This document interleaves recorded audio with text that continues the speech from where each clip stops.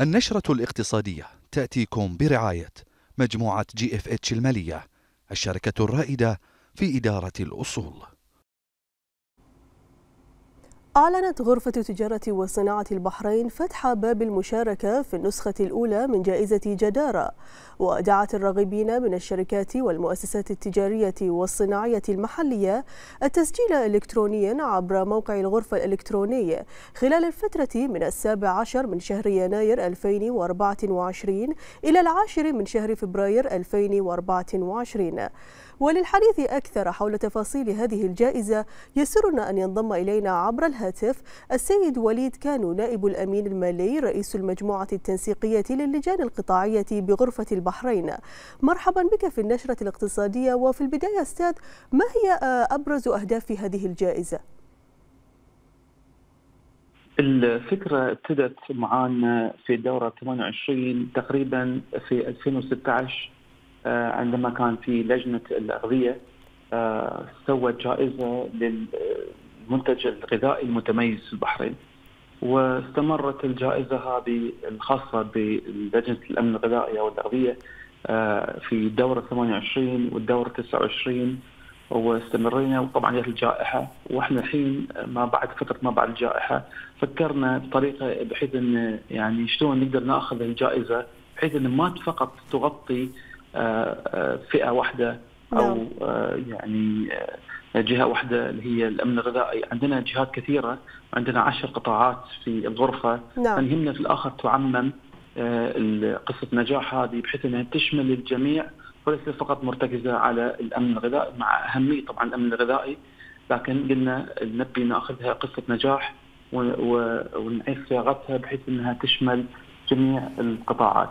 نعم. هذا بالنسبة لنا جائزة جدارة هي إحدى مبادرات غرفة تجارة صناعة البحرين آه والحمد لله آه يعني قصة نجاح آه شهدناها في الفترة الأخيرة وصار تكريم الكثيرين من الشركات اللي تقدمت لطلب الجائزة وكان بيحب يعني بحكم في شهادة جودة من غرفة تجارة من جهة معينة محايدة تماما زين ليس لها مصالح مع الجهات المقدمة بحيث إنها استوفت بعض المعايير وعلى هالأساس نعم. هذه قمنا بتركيز الضوء عليها يعني أستاذ وليد لو تحدثنا حول الفئات التي تشملها جائزة جدارة وأبرز معايير اختيار المشاركين.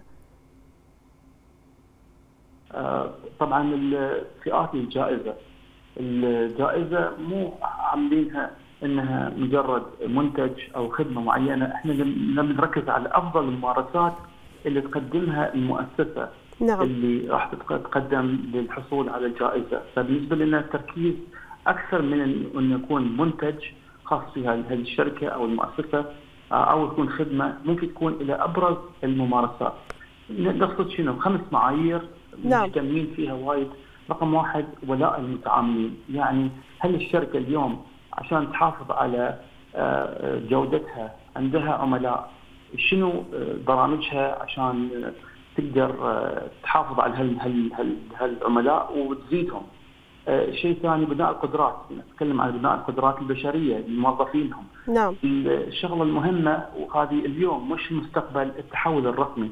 يعني اليوم المؤسسة اللي راح تقدم لطلب الجائزة تبي ما بعد يكون عندها قصة نجاح في التحول الرقمي ممارسات إلكترونية استخدام الذكاء الصناعي أو غيرها. الشغلة الأخيرة الجودة في الصناعات الغذائية طبعا هذه تنطبق عليه إذا كانت فرضنا في ال كان إذا كان تعني بالأمن الغذائي. بالتأكيد السيد وليد كانو نائب الأمين المالي رئيس المجموعة التنسيقية للجان القطاعية بغرفة البحرين. شكرا جزيلا لك. والآن نترككم مع سعر صرف الدينار البحريني مقابل العملات الخليجية وأبرز العملات العالمية.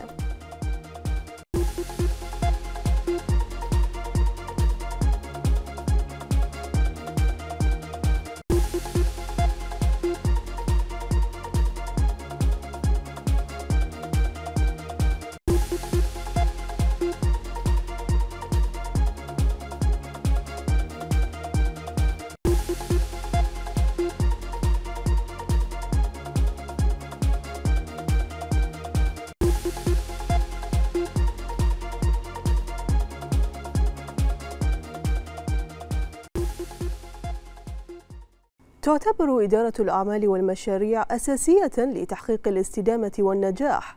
حيث تسهم في تحسين الكفاءة وتحقيق الأهداف الاستراتيجية للمؤسسات والمشاريع كما تضمن استخدام الوسائل بفعالية لتحقيق النمو المستدام.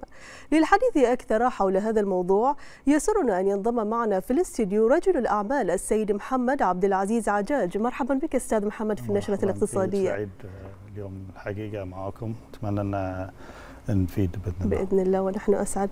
في البداية أستاذ محمد يعني كيف يمكن تحديد أهداف المشروع الناجح ووضع استراتيجية ناجحة وفعالة له؟ آه طبعا آه قبل التفكير في أي مشروع آه أشدد على أهمية دراسة الجدوى. ال business plan يعطيك تقدر على أساس تحدد أهدافك واللي على أساس تحدد الاستراتيجيات في كيفية تحقيق هذه الأهداف. ما هي أفضل طريقة لدراسة الجدوى؟ آه طبعا في اشياء اونلاين جاهزة آه لكن أنا أفضل إنك تروح حق أحد مستشار ويكون آه عنده خبرة في إنه يسوي لك دراسة جدوى تكون سمارت ما تكون يعني من الممكن تحقيقها. نعم يعني أستاذ في أي مرحلة من مراحل المشروع تتوقع يعني أن يتم تحقيق دخل مجزي؟ آه طبعا أي واحد بيدش مشروع بيستثمر في البداية فأنا أقول في البداية يفكر هو شلون يرجع استثماره من بعد ترجيع هذا الاستثمار أي دخل ممكن يكون مجزي لأن أنت في النهاية رجعت الاستثمار اللي أنت استثمرته في بداية المشروع. نعم. آه ما هي المشاريع التي اكتفت منها السوق في الوقت الحالي من وجهة نظرك وما هي الأنواع التي تنصح بالاستثمار فيها؟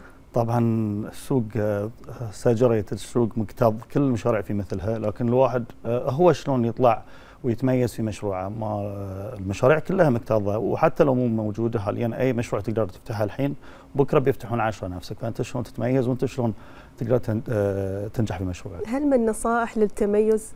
آه طبعا أنت في سوق هنا معتمد على الأسعار. فالسعر هو الجاذب الأول حق أي مشروع. بالإضافة إلى نوعية الخدمة أو المنتج اللي أنت بتقدمه إنه يكون متميز. كيف يمكن لأصحاب الأعمال يعني مواجهة بعض المعوقات التي قد يواجهونها في إدارة المشاريع خصوصا المتعلقة بال, بال يعني التحديات المالية؟ طبعا كل مشروع له business cycle، في مشاريع من البداية تشوفها زحمة عليه ويرجع عقب ينزل، وفي مشاريع لا من البدايه ممكن يأخذ المشروع step step، ف أنا دائما أقول التاجر المفروض يعرف في لحظات من ال business يأخذ فيه قرارات يا إنه هو يكمل يا إنه هو يبيع يا إنه هو يستشير احد ثاني أو إنه هو يدخل أحد وياه شريك يحاول إنه هو يستفيد من منه سواء من ناحية الاستثمار أو سواء من ناحية الخبرة نعم. المالية. الأستاذ محمد عجاد شكرا جزيلا على حضورك.